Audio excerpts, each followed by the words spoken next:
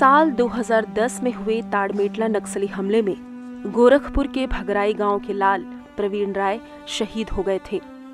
अपने माता पिता की तीन संतानों में सबसे बड़े प्रवीण ने देश सेवा की शपथ लेते हुए साल 2002 में केंद्रीय रिज़र्व पुलिस बल ज्वाइन की थी। नौकरी के आठ साल ही हुए थे कि उन्होंने अपना सबसे बड़ा फ़र्ज़ निभाते हुए सर्वोच्च बलिदान दिया। नक्सली हमले में लड़ते लड़ते अपनी जान कुर्बान कर दी। वो दिन याद करते ही परिवार दर्द में डूब जाता है। वो बच्चा रो पड़ता है जो अपनी पिता की शहादत के वक्त माँ की कोख में था। मैं अभी पढ़ाई करता हूँ। किस कक्षा में? फोर्थ। बेटा आपके पापा एक वीर सैनिक थे। उनके बारे में आपने कुछ सुना है? घर में कुछ लोगों ने बताया आपको? क्या बताया? वो बहुत अच्छे थे। बेटा आप पापा का अपना कौन सा सपना पूरा करना चाहते हो। बाबू? मेरे पापा। मेरे लाल क्या बनना चाहते हो? बताओ पापा। मैं आई बनना चाहती हूँ। किसान पिता के बेटे के दिल में सेना में शामिल होने का सपना था। बेटे की चाह देखते हुए पिता से जो बना वो किया। जिस दिन प्रवीण राय का चयन सीआरपीएफ में हुआ पूरे परिवार में खुशी का माहौल था। प्रवीण अपने घर में कमाने वाले इकलौते सदस्य थे। उनकी कमाई से ही संयुक्त परिवार की गुजर बसर हो रही थी। गोरखपुर के प्रवीण राय नक्सली हमले में वर्ष 2010 में शहीद हो गए थे।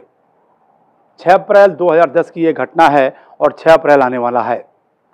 उनके इस शहादत दिवस को उनका परिवार तो पूरी शिद्दत के साथ मनाता ही है, उन्हें याद करता है, उन्हें श्रद्धा सुमन अर्पित करता है उनके लिए जो कुछ भी बन पड़ता है, वो दान पुण्य का भी कार्य करता है।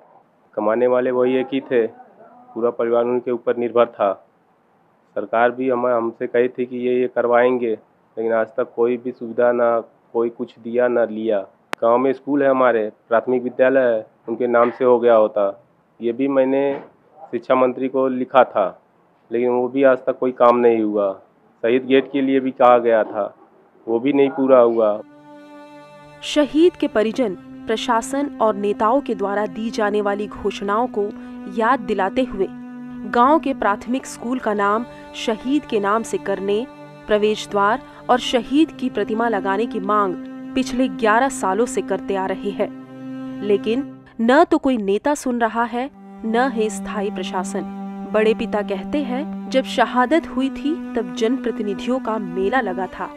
बड़े बड़े वादे हुए थे। जो आज तक हकीकत में नहीं बदल सके हैं। जो लोग आए ये हो जाएगा ज़मीन मिलेगा ये होगा गेट बन जाएगा लेकिन कुछ नहीं कोई किया।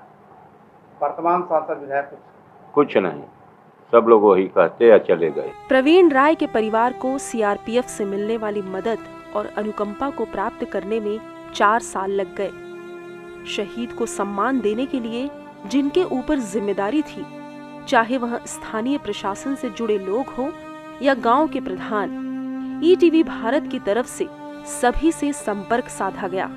लेकिन पंचायत चुनाव की व्यस्तता में ऐसे लोग कुछ भी बोलने से बचते रहे। प्रवीण जहाँ भी है, उनकी शहादत हमेशा गर्व से भरती रहेगी। मुकेश पांडे ईटीवी भारत, गोरखपुर।